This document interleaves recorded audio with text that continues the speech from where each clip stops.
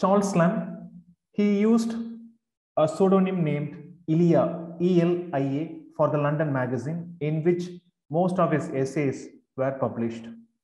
Born in 1775, died in 1834.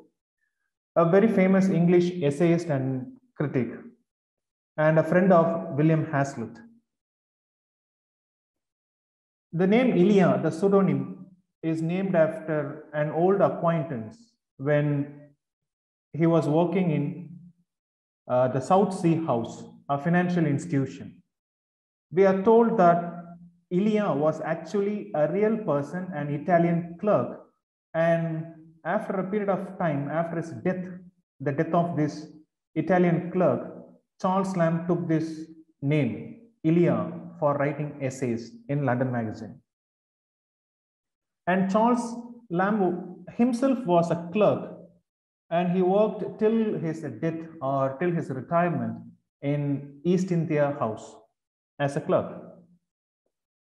And sometimes we are told that Elia, E L I A, is an anagram, anagram of the phrase a lie, a lie, L I E. An anagram, as you know, if you rearrange the letters of a word or a phrase, you get a different word or a phrase. And this phrase, a lie, L I E, you rearrange the letters, you will get the pseudonym Elia. And the first collection of essays was published in 1823 and the second collection in 1833.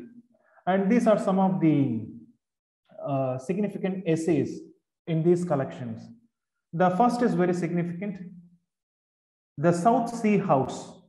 You know, you remember the clerk, the Italian clerk working in this uh, financial establishment. And this is the first essay, essay published in the London magazine, August 1820. And the second one is very famous, a dissertation upon roast pig. If you haven't read this, take time, take your time and read this essay, a dissertation upon roast pig by Charles Lamb. And we have the price of chimney sweepers, referring to small boys who had to clean the chimneys. Then the old benchers of the inner temple and a bachelor's complaint of the behavior of married people. In the essays, Charles Lamb represents himself as Elia and his elder sister, Mary, as cousin Bridget, B R I D G E T, Bridget. In most of the exams on English literature, this is a question. Uh, who is, uh, or simply put, Mary Lamb is represented as what? Mary Lamb is represented as cousin Bridget in, uh, in his essays, Charles Lamb's essays. And both they came up with tales from Shakespeare. Tales from Shakespeare is a collection of uh, you know stories from Shakespeare in its uh, retelling version for children, and you can enjoy reading these tales. It's just like uh, retelling for little children. Then this is another retelling. Uh, this is by Charles Lamb.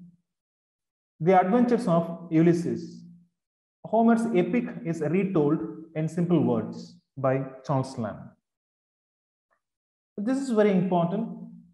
In his essays, we have a lot of characters. Most of the characters are based on his own family members and others. We have John Lamb, the father. John Lamb is represented as Lovel, L-O-V-L, in the essay, The Old Benchers. And Charles Lamb's elder brother, we have uh, again John Lamb, but John Lamb, the brother, he is represented as John L or James Elia. Then he had an aunt, uh, Sarah Lamb, the sister of or the unmarried sister of John Lamb. Uh, Sarah Lamb is also known as Aunt Hetty, and she is referred to in his essay, My Relations. And we have his love interest, Charles Lamb's love interest, Anne Simmons, S I M M O N S. Uh, she is represented as uh, Alice. And Charles Lamb also wrote, uh, you know, this work called Rosamund Grey for Anne Simmons. But he fell in love with Anne Simmons, but he couldn't get married to Anne Simmons.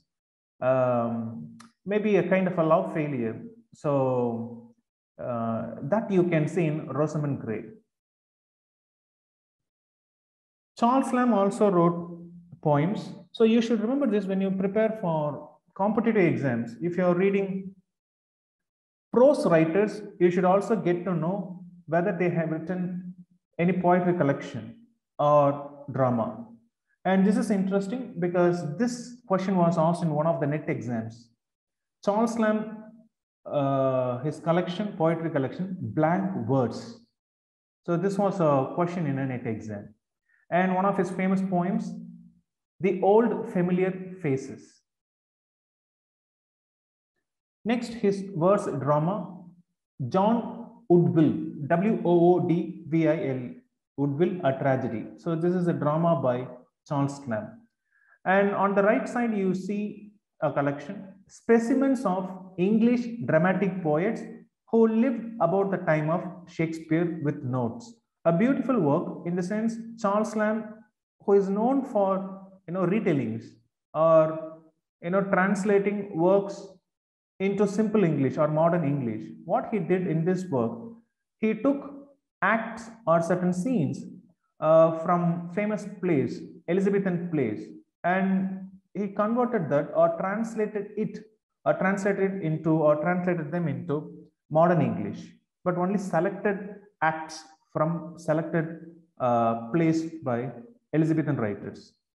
Then in 1905, we have the critic E.V. Lucas, who came up with the biography of Charles Lamb in two volumes named The Life of Charles Lamb.